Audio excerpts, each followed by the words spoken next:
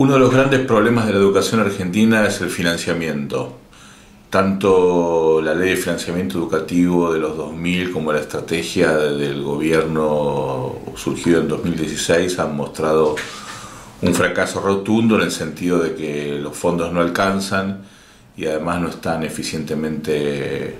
invertidos. Por eso lo que yo propongo es un cambio en la ley de financiamiento educativo, conservando el 6% del Producto Bruto para educación,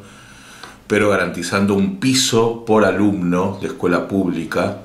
eh, que sea igual para todo el país, eh, sin diferencias entre provincias ni sector social o nivel socioeconómico de los alumnos,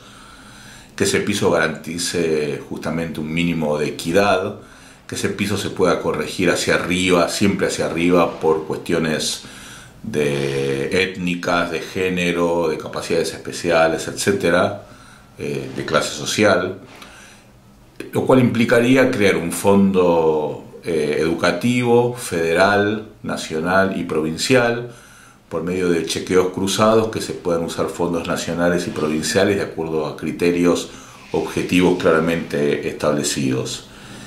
Eso garantizaría equidad, eficiencia en la administración de recursos y sobre todo garantizaría el gran fracaso de estos últimos 20 años, preservar a los fondos de la educación de las crisis económicas recurrentes que tenemos en la Argentina. Esto es algo que constitucionalmente es posible, que lo hizo el Brasil de Lula eh, y que claramente significaría un gran aporte y un gran avance para el financiamiento genuino a las escuelas de todo el país.